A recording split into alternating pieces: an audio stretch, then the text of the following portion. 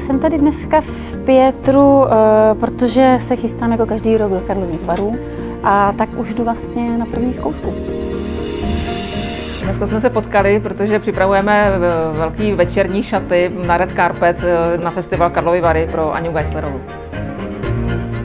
Já někdy bývám milně považovaná za jako rebelku v oblasti módy. Já mám to rebelství někde jinde, ale v oblasti módy jsem vlastně v podstatě hodně konzervativní.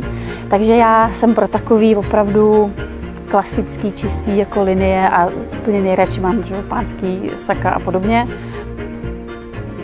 Aňa si vybrala uh, tu jednodušší cestu, protože sama vlastně přišla s tím nápadem uh, být v tom pánském stylu a vlastně mít, mít na sobě takovou elegantní, krásnou, precizní robu.